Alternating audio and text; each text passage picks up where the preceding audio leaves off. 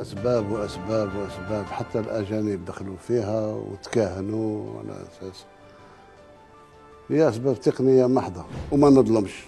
ودائما مع المظلوم. ولو على حساب أخي وصديقي المظلوم يبقى مظلوم.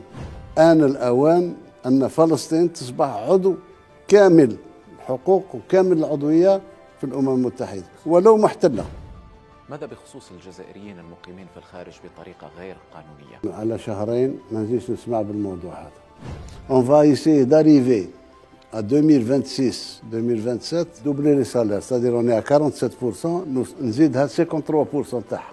premier semestre 2026 le PIB تاعنا ان شاء الله va dépasser les 400 مليار دولار.